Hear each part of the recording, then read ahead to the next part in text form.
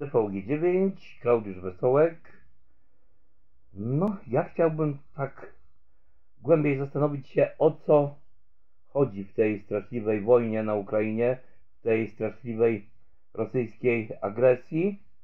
I na początku no, chciałem się rozprawić yy, z tymi yy, no, kocopołami, kocopołami, które y, są opowiadane przez dziennikarzy, nawet y, przez ludzi, którzy y, mienią się y, wielkimi analitykami.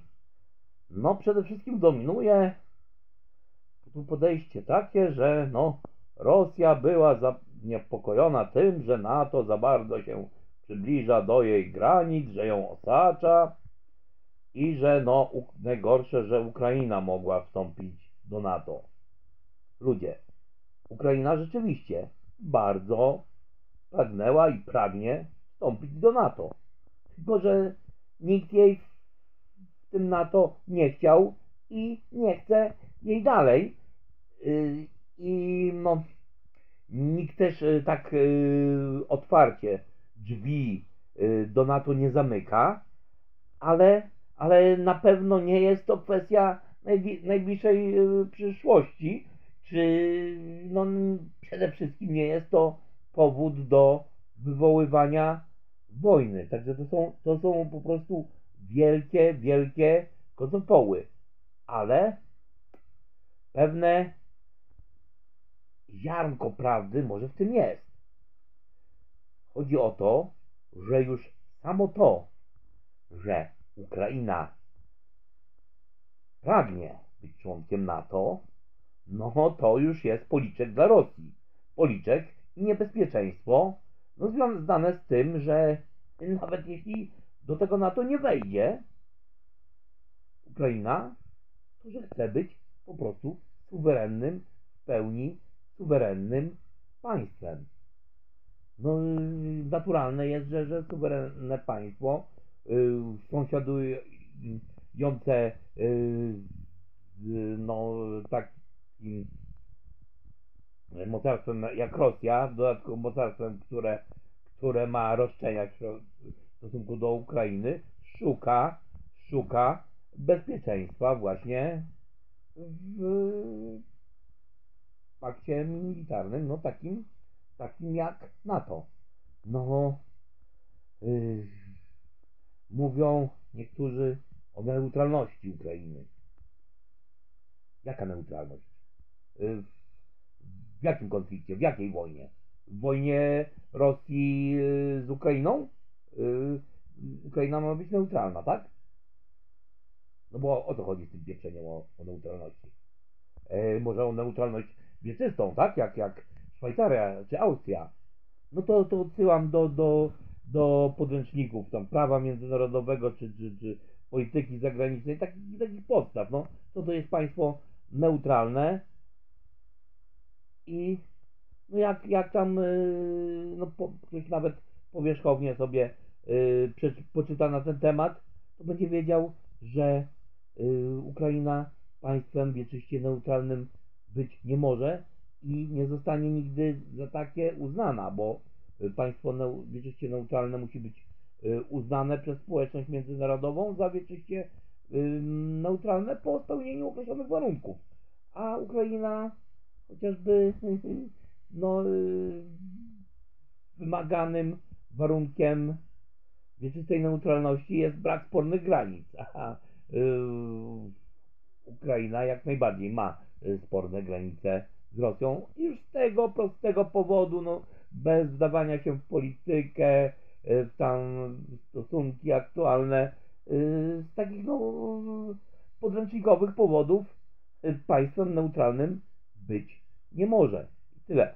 Yy, także tu Rosji chodzi po prostu o to, że rozmawiając o mm, wstępie do NATO, już yy, Ukraina pokazuje, że yy, zerwała się z łańcucha, a yy, no, państwa, które no, wcale, wcale też nie mają zamiaru jej przyjąć yy, do NATO, no już samym faktem, że negocjują y, z Ukrainą, rozmawiają na ten temat, no to już się narażają Rosji, no i uzna- uznają y, Ukrainę za pełne, pełni suwerenne państwo.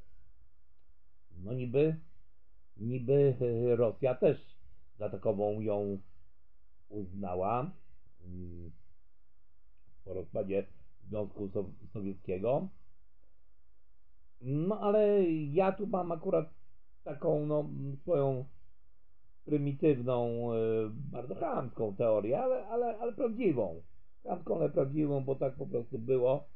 Y, Ten cały rozpad Związku Sowieckiego no, był po to, że no, y, kremlowska władza chciała no, ostatecznie y, rozkraść to, to co na- najpierw y, nakradli od prywatnych właścicieli i u- upaństwowili i sami zarządzali, a później, później trzeba było to y, rozkraść pomiędzy siebie.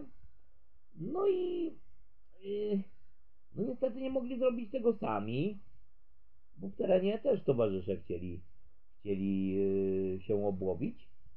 No więc trzeba było się na chwilę rozstać, żeby, żeby tego y, każdy no, na własną rękę mógł tego rabunku dokonać. No a potem już był no, powrót znowu do tego imperium, które no, stanowiło jakby kryszę. Stanowiło i stanowi kryszę dla tych wszystkich bandziorów i kremlowskich i tych, tych lokalnych. Y, Więc no nastąpiła y, taka reintegracja tych, tych byłych republik w różnej formie. Y, No, tak samo było z Ukrainą. No przecież, przez, przez, przez lata, aż, aż do, do, do no, no, tych wydarzeń na Majdanie, to była taka no, operetkowa, malowana niepodległość. No a tutaj, tutaj yy, kilka lat temu Ukraińcy pokazali, że jednak to wszystko traktują na poważnie. No i niestety yy, to się spotkało bardzo, bardzo ostrą reakcją yy, no, yy, imperium. To, nie, to jest, już nie jest imperium, no ale mm, tego odbudowującego się imperium, odbudowującego się supermocarstwa, właśnie jeszcze, żeby to było, była inna dawna republika, ale bez Ukrainy, to już Brzeziński powiedział między innymi i, i tam inni, nie ma, nie ma y, rosyjskiego supermocarstwa. Bez Ukrainy podporządkowanej sobie oni światowym supermocarstwem nigdy już nie będą. No a z tym się nie mogą pogodzić, no bo oni po prostu niestety innego pomysłu na siebie nie mają, no lubią być supermocarstwem i no po trupach y, próbują dążyć do tego celu. Nie, nie osiągną już tego celu, bo yy, świat znowu się stał dwubiegunowy, są znów dwa supermocarstwa, Stany Zjednoczone i już nie Związek Sowiecki, tylko Chiny, a no yy, Rosja tej roli już nie wystąpi, zwłaszcza po tym jak Ukraina dzielnie się postawiła, pokazała, że nawet gdyby odpukać, a to, to raczej, raczej nie, uchowaj Boże, ale to, to, to się nie, nie, nie stanie, ale gdyby nawet yy, no, doszło do okupacji Ukrainy, no to też będzie tylko tymczasowa okupacja, przeciwko której Ukraińcy będą cały czas ostro walczyć i pełnego opanowania nad Ukrainą nie będzie. Nie będzie też supermocarstwa. No niestety, mimo że takie są fakty, te suplicyny się nie poddadzą. Jeszcze dużo syfu będą musieli narobić, dużo ludzkich żyć poświęcić,